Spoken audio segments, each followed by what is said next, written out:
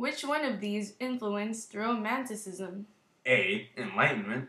B. Industrial Revolution. C. Calvinism. Or D.